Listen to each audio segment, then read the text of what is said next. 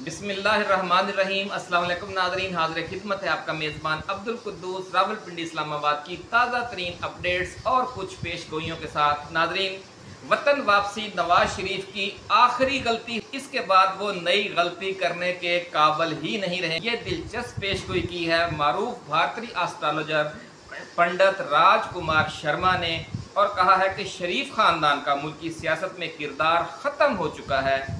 अब वो कभी भी वापस सियासी व हकूमती ताकत उस तरीके से हासिल नहीं कर सकेंगे जो 2017 और 18 तक इस खानदान के पास थी। पंडित जी का ये कहना है कि अब अगर कभी इस खानदान के कुछ लोग दोबारा इकतदार में आए तो उनकी हैसियत बिल्कुल कठपुतली जैसी होगी। बिल्कुल वैसे ही जिस तरह शहबाज शरीफ 16 माह एक कठपुतली वज़ीर अजम की हैसियत से गुजार कर गए हैं। पाकिस्तानी सियासत और इमरान खान के हवाले से पंडित राजकुमार शर्मा ने मज़ीद क्या पेश गोइयाँ की हैं और आम इंतबात के हवाले से और ख़ास तौर पर उनकी टाइमिंग के हवाले से उन्होंने क्या चौंका देने वाली प्रिडिक्शन की है? इसकी तफसील बयान करने से पहले हम नए आने वाले दोस्तों से गुजारिश करेंगे कि वो इस चैनल को सब्सक्राइब करके बेल आइकन ज़रूर दबाएँ ताकि हमारी नई आने वाली वीडियोस आपको बर वक्त मिलती रहें। नाजरीन, पंडित राजकुमार शर्मा ने इमरान खान की जान पर हमले के हवाले से जो पेश गोई की थी, वो दुरुस्त साबित हुई और आपने देखा कि वजीराबाद में उन पर हमला हुआ। फिर अपनी दूसरी पेश गोई में पंडित राजकुमार शर्मा ने कहा था कि अगर इमरान खान 20 अगस्त तक ज़िंदा रहा तो फिर इसे दोबारा वज़ीर अजम बनने से दुनिया की कोई ताकत नहीं रोक सकेगी। नाजरीन इस पेशगोई के हवाले से हमने एक वीडियो भी बनाई थी। आपने वो वीडियो यकीनन देखी होगी। जिन दोस्तों ने नहीं देखी, वो जाकर देख सकते हैं। हमारी जो वीडियोस हैं, उनमें अभी भी वो मौजूद है।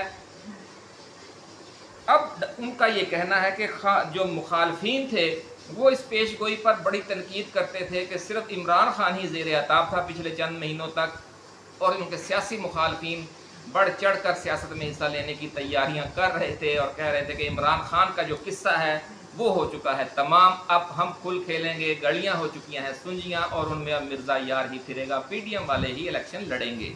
लेकिन क्या होगा कि लोग जो पीडीएम है, वो न सिर्फ़ खुद अवामी नफरत का शिकार होगी, बल्कि साथ में सुप्रीम कोर्ट और इस्टेब्लिशमेंट की जो क्रेडिबिलिटी है, उसको भी ले डूबेगी। गोया हम तो डूबे हैं, सनम, तुझको भी ले डूबेंगे वाला मामला होगा। और जब पूरा सिस्टम नाजीन नंगा हो जाएगा तो फिर इससे मुल्क में आम इंतबात के दौरान सन सत्तर जैसी शदीद अवामी गमों गुस्से की लहर पैदा हो जाएगी। और फिर आप देखेंगे कि उस तूफ़ान में तिनके की तरह बह जाएँगे पी डी एम जमातों के उम्मीदवार। और इमरान खान दो तिहाई की बजाय तीन चौथाई अक्सरियत भी ले सकता है। ये सारा जो मंजर है हमने आपके सामने रखा है कि दो ऑप्शन है, एक ऑप्शन ये है कि ये लोग सजा याफ्ता होने की वजह से इलेक्शन सही तरीके से नहीं लड़ सकेंगे। लेकिन अगर इन्होंने ड्रामा किया, काजी फायजी सा चुके इन्हीं का बंदा है, ये भी हमें आपको तफसील बताएँगे अभी इसी वीडियो में कि ये किस तरीके से ये एक ही सिक्के के दो रुख हैं। तो जो पंडित राजकुमार शर्मा ने पेश गोई की है उन्होंने कहा है कि कोई भी सूरत बन जाए, इमरान खान को अब ये नहीं हरा सकते। लेकिन उनका ये कहना है कि आम इंतबात जितनी जल्दी आप और हम सोच रहे हैं, उस वक़्त होते नज़र नहीं आ रहे। नाजरीन, इमरान खान अगले दस बरसों के लिए वज़ी अजम बनेगा। जब इतनी दो तिहाई या तीन चौथाई अक्सरियत उसे मिल गई तो फिर उस जल्दी में उसे हराना अगले पाँच साल बाद भी मुमकिन नहीं रहेगा। पंडित राजकुमार शर्मा की जो इमरान खान के हवाले से कुछ मज़ीद पेश गोइयाँ हैं, उनकी तफसील में जाने से पहले हम दो अहम खबरें भी आपके साथ शेयर करना चाहते हैं। पहली खबर यह है कि नून लीग और शरीफ खानदान। सुप्रीम कोर्ट के सीनियर जज जस्टिस एजाजुल अहसन से बहुत खौफजदा हैं। ये दलेर और काबल तरीन जज पानामा केस वाले बेंच में भी शामिल थे। और 25 अक्टूबर 2024 को उन्होंने चीफ जस्टिस ऑफ़ पाकिस्तान का मनसब भी संभालना है। जो ना पनामा केस में खौफजदा हुआ, ना नैब तरामीम केस में और ना इस दौरान जो बाकी केसेस में तो वो अब क्या खौफजदा होगा? नाजरीन, अपने पालतू तो मीडिया के ज़िम्मे अब नवाज़ शरीफ ने यह लगा दिया है कि वो बाकायदगी के साथ और मुसलसल जस्टिस एजाजुल असद के खिलाफ भोंकना शुरू कर दे। इस हुक्म पर अमल दरामद जारी है और तेज़ होता जा रहा है। लेकिन जिस तरह जो फारसी के अजीम शायर उर्फी थे, उनका एक मशहूर शेर है कि उर्फी, तू बगोगाए रकीबा, आवाज़ सगा, कम न कुनद रिस्क गदारा। यानी उर्फी, तू रकीबों के मुखालफों के शोर शराबे और गालम गलोच की परवाह न कर। कि कुत्तों के भौंकने से फ़कीर की रोज़ी पर कोई असर नहीं पड़ता, वो कम नहीं होती।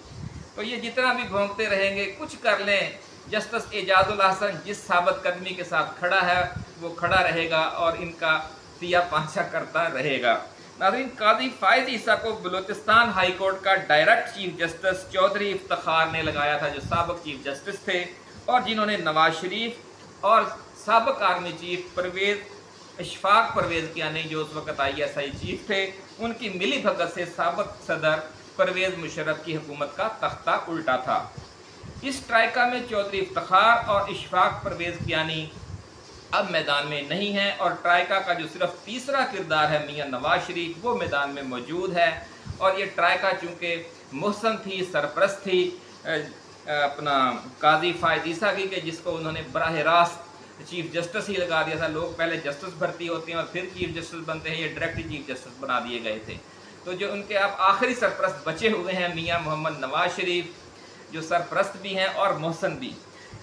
उन पर उनके और काजी फायज ईसा के नाजरीन जो गठजोड़ है, उस पर आपने तवज्जो रखनी है। ये बड़ा अहम नुकता आज हम आपको सामने पेश कर रहे हैं कि ये कई ड्रामे भी करेंगे, नूरा कुश्ती भी होगी, लेकिन असल मकसद ये होगा कि ये जो दूसरे मुखालफ कैंप के जजेज़ हैं ख़ास तौर पर जो मुस्तबिल में चीफ जस्टिस ऑफ़ पाकिस्तान बनना है, जस्टिस एजाजुल हसन ने किसी तरीके से उनके खिलाफ कोई वारदात डालें। तो ये आप देखेंगे कि ये किस तरह मिली भगत से एक फ्रेंडली फायरिंग भी हो सकती है, या मिली भगत से जो नैब तरमीम है, उसे उड़ाने की कोशिश वाला केस है, उसे उड़ाने की कोशिश भी हो सकती है। नाजरीन, अब बात हो जाए भारतीय एस्ट्रोलॉजर पंडित राजकुमार शर्मा की उस पेश गोई की कि जिसमें उन्होंने कहा है कि इमरान खान आंधी और तूफ़ान बनकर खड़ा हो जाएगा और अपनी मौजूदा जो उसकी मुसालहाना पॉलिसी है उसे मुकम्मल जारहाना अंदाज इख्तियार करते हुए बदल देगा। तो बिल्कुल उसी तरह कि जिस तरह मैच के जो दरमियानी ओवर्स होते हैं, उनमें स्पिनर आते हैं, मीडियम पेसर आते हैं, कुछ दिफाई गेम खेली जाती है।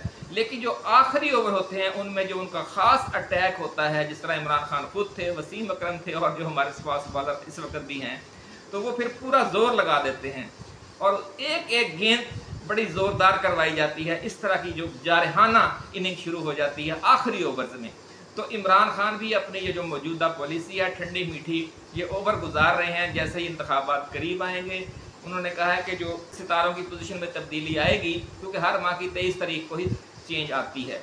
तो ये जो इमरान खान का अंदाज़ है, वो जारहाना होना शुरू हो जाएगा कि जो ज़ोरदार आंधी और तूफ़ान वाला अंदाज है, वो अपने अरूज पर होगा। और इसमें ये जो तिनकों की तरह उड़ते फिरेंगे अपोजिशन वाले, ख़ासतौर पर ये जो पीडीएम वाले हैं, ये पेश गोई की है पंडित राजकुमार शर्मा ने। और उन्होंने ये भी कहा है कि अगर आप समझते हैं फरवरी में आम इंतबात होने जा रहे हैं तो ये आपकी गलत फहमी है। इमरान खान की मकबूलियत का जब तक ये लोग अपने तौर पर पक्का इंतज़ाम नहीं करेंगे ये इलेक्शन नहीं करवाएँगे और पक्का इंतज़ाम इनसे होगा नहीं, ये भी कहना है डॉक्टर राजकुमार शर्मा का। इसी के साथ नाजरीन, आज की इस वीडियो को ख़त्म करते हैं। ऐसी ही एक्सक्लूसिव वीडियोस के साथ हम जल्द दोबारा हाजिर खिदमत होंगे। आप अपना, अपने दोस्तों, रिश्तेदारों और गिरदोनवा में रहने वाले तमाम अहल वतन का बहुत ख्याल रखिएगा। अल्लाह हाफिज़। पाकिस्तान, जिंदाबाद।